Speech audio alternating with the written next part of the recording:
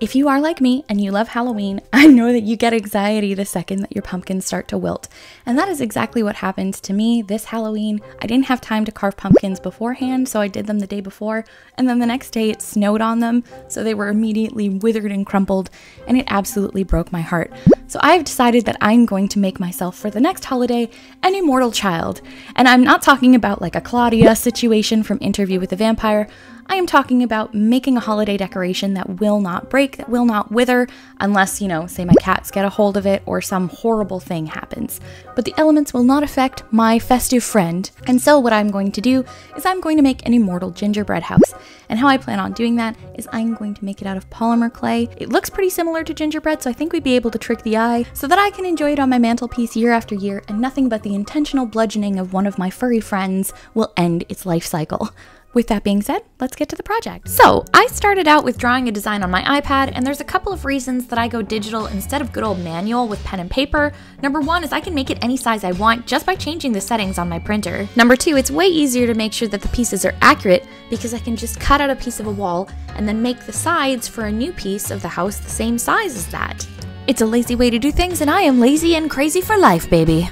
Now it's time for us to cut everything out, which is pretty self-explanatory. The only advice I have on this one is to make sure that you have some rounded edges, just because that makes everything look a little bit cuter and softer. If cute and soft is not the vibe that you are going for, then I suggest nice hard edges instead. Now that we've got all of our shapes cut out, it's time for us to open a giant box of polymer clay because that's how much it's going to take to build a house. To be real, we only ended up using a fraction of the box, and now it's time to unpack everything and condition our clay. Conditioning the clay means that you make it soft after it's been hard in its package, and this looks like duty. It is now my duty to flatten it out so that we can cut into these sheets. Did you see what I did there, guys? Anyways, the rolling pin was the worst, so I brought out the big guns. This is a pasta machine and it's great for pushing your clay into one solid sheet that's the same thickness all the way through. Now that we've got our little sheets, we should just pat that baby down to make sure that there's no air bubbles because we can stick our paper pattern right on here and slice around it. Kids, make sure to get an adult's help with this and no, I do not count. I am not certified in that area yet. I'm still a giant child. Anyways, to cut out these center pieces, I had to develop a little bit of a technique because they can get kind of stuck on the paper. You're going to want to stipple it in and out just so that the paper doesn't get stuck and you don't get drag on your design. It leads leads to a much smoother finished product in the end. The face ended up being the most difficult of the walls because of all of those little teeth that I had put inside of the mouth. It ended up getting stuck onto the paper, so I decided that I would cut the whole mouth out and sculpt the teeth on later. It's looking rough at the moment, but I just need you guys to trust the process and that I know what I'm doing. Because there had been a few issues with the mouth, I decided that I would just do a nice curved line and then sculpt the teeth for the back window over top of things after the fact. Before I could sculpt anything else on top, I wanted to bake things and also make sure that I had the measurement for the light that I was going to put inside. I got these off of Amazon, they're a remote controlled light. I pressed it into the clay to get a measurement and then I cut it out and it fit perfectly. Next I just took this little soft nail scrubber brush and I went over the surface of everything to give it some pock marks so that it looked like it had been freshly baked. I also cleaned up some of the edges with this pointy tool just to make sure that everything was nice and smooth before it went into the baking process. The nice thing about polymer clay is that you can bake it and then you can keep sculpting on top of it after the fact, so that's what I did just to save these shapes. To make sure that your new sculpt sticks on top, I use a little bit of liquid Sculpey just to dampen the surface and it really gives it an extra bit of grip. I swirled it around with a brush on the surface I wanted to work on and then it was ready to hold on to whatever I wanted to make. I decided to put some spider webs in the window and this process was finicky to say the least. Of course I decided that I was going to do the most forefront window before any of the others and figuring out how it worked properly, but I think it ended up looking okay in the end. It's just very delicate and it was kind of tricky to weave all of the pieces together. Because I'm going for more of a spooky vibe, I decided I wanted to give the eyes a little bit of a pronounced brow so it looks a little bit more sinister, and then of course I put the teeth over top with some little spikies and smoothed them in very gently. If you're having difficulty smoothing some of the unbaked clay into the baked clay, I recommend getting one of these little silicone brushes.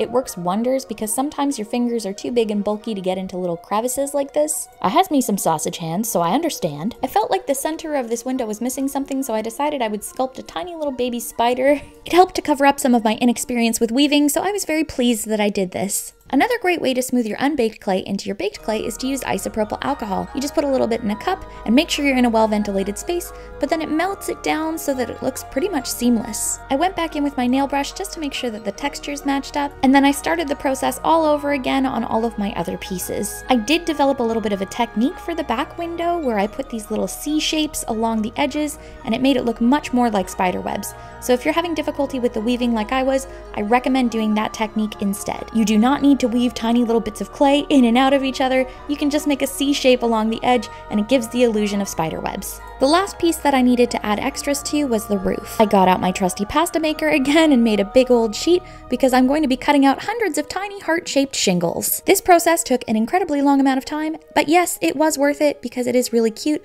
I used a little cookie cutter, and sometimes your cutouts might get stuck in your cutter, so make sure you have a little round tool handy just so that you can pop those bad boys out. We just brush the surface again with a little bit of liquid Sculpey, and then we're good to stick all of those shingles on there. I only put the shingles halfway up the roof because I have a plan later for something a little bit cool. Now that all of the sculpting is finished, we can tackle these windows with a little bit of UV resin. I'm going to lay everything down on this silicone mat just so that it doesn't stick to our surfaces and it's easy to peel up after it's cured. I've got some glitter and some pigment and of course the UV resin. I'm dumping a bunch of the UV resin into the cup so that I can mix it with the glitter and the pigment. I'm going for sort of an amber vibe so that everything can feel warm and cozy and Christmassy, like there's candles and a fire inside. That's what all haunted houses houses are actually full of demons having tea parties and sweets and candlelit fires. Now the side windows are going to be a little bit more opaque than the front and the back, just because I didn't want the candle that we've got inside to show through in its raw, unfiltered form. The silicone mat was an absolute lifesaver, it made everything perfect, and the light looks exactly how I want it to,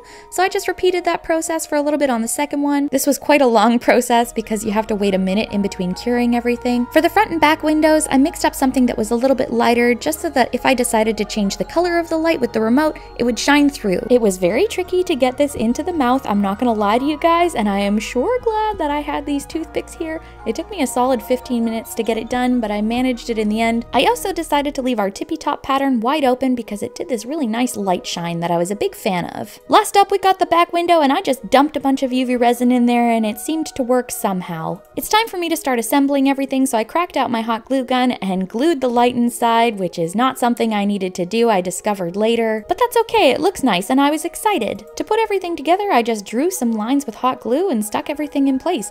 I was surprised at how sturdy it was really quickly. It worked very well. Some people might knock hot glue and say that it's cheap and quick, but that's my motto.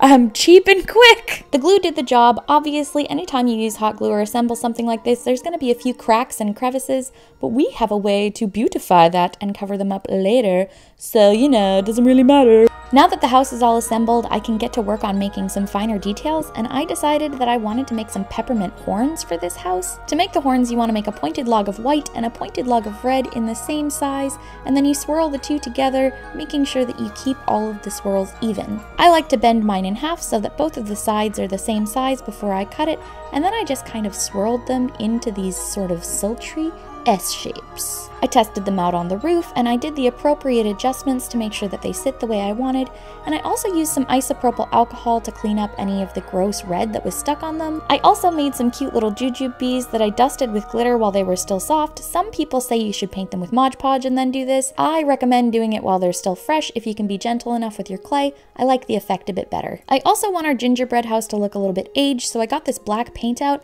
and a damp paper towel. The basic principle of this technique is that you get a lot of water inside of your black paint and then you wash it all over the surface of the polymer clay and wipe it off. It makes everything look like it's been sitting in an angry witch's cottage, which is generally the vibe that I'm trying to go for and it is now beautifully seasoned with the smoke of several curses. I also whipped up a paint to match the color of the gingerbread itself, and then I put that over top of the windows so that I could paint on some more detailed spider webs. I did two coats of this to make sure that it was nice and opaque. Over top of that, I added a little bit of white paint with this dotting tool. You can get this silicone craft icing at most craft stores. This one in particular, all you have to do is get a little piping tip and then you can pop your frosting on top of anything you want. For ease of decorating, I put this on my Susan, formerly known as a Lazy Susan, but I'm not gonna call her that because that's just kind of mean, and I'm not here trying to insult chunks of rotating wood.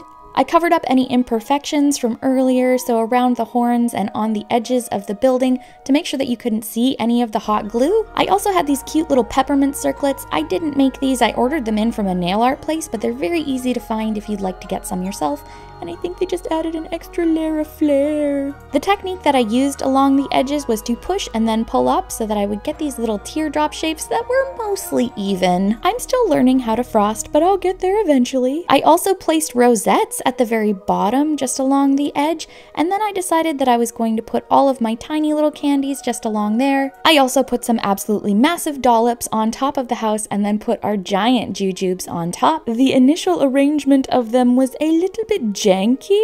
Lucky for us, when it's wet, there's some wiggle room so you can make sure that everything lines up. Okay, folks, we're done, and it is time for the moody glamour shots. Enjoy.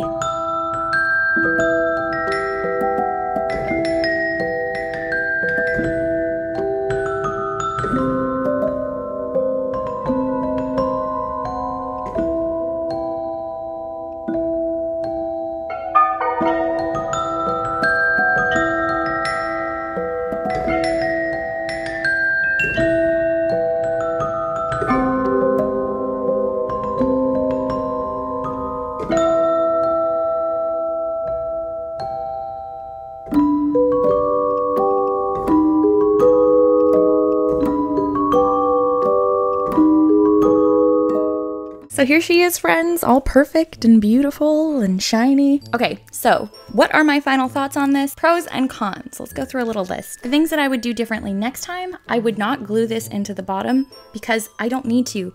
I made the mistake of thinking that it was a Christmas ornament and that it would be hanging up and this would need to be suspended. But you don't need to do that. You could put electric tea light in here, the batteries die, or if this malfunctions in some way, you don't have to deal with that glue. So the other thing that I think that I would do differently is I would probably make the spider webs independently of the windows and then glue them in. So I would make them to size, bake them so that they're hard, and then I would put them in instead of trying to like fiddle dee la da dee them in there and weaving them inside of the window. I do like the painted windows, so I would definitely do that again. Really lovely, quite ornate with the little dot work, so I really liked that. My favorite things about this, I think, are the horns and the jujubes. I didn't expect the glitter to give them so much dimension and make them look so different, and I also really love his little tiny mouth. I'm, I'm super pleased with this project. It couldn't have turned out any better. Those things that I mentioned were just like a couple of little things that I thought that I could do differently. I'd love to do another project like this down the line. It was really, really fun. I now have my immortal child to keep me company for all of eternity. If you enjoyed this video, I hope that you will consider interacting with it in some way by slapping some of those buttons so that other people might be able to see the things that I'm creating. If you'd like to support me in other ways, you can also check out my online shop. We've got a bunch of really cool stuff there.